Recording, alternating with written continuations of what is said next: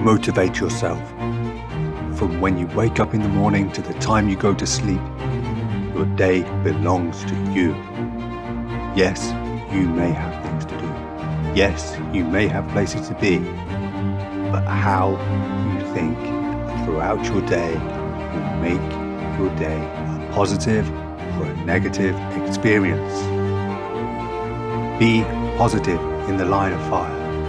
When the world comes at you, stand strong, believe in yourself. Take deep breaths and say to yourself, I can do this. I will get it done. I am capable. I will do what it takes.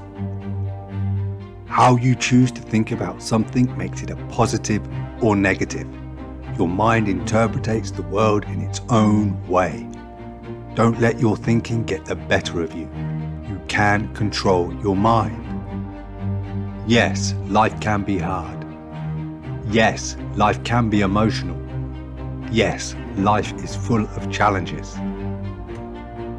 That's part of life. From starting out in life learning to walk, to learning how to maintain ourselves as we grow old and everything in between. Life is a journey, and you have the ability to make that journey great. Be positive. Be courageous. Believe in yourself. What you think is what matters. Treat yourself like your best friend. You can learn to love yourself. You can take a path step by step to a positive mind. Your mind belongs to you. Learn to love yourself and the world will be brighter.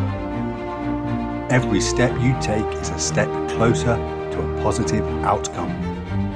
Subscribe to Golden Growth if you want to see positive outcomes in your life.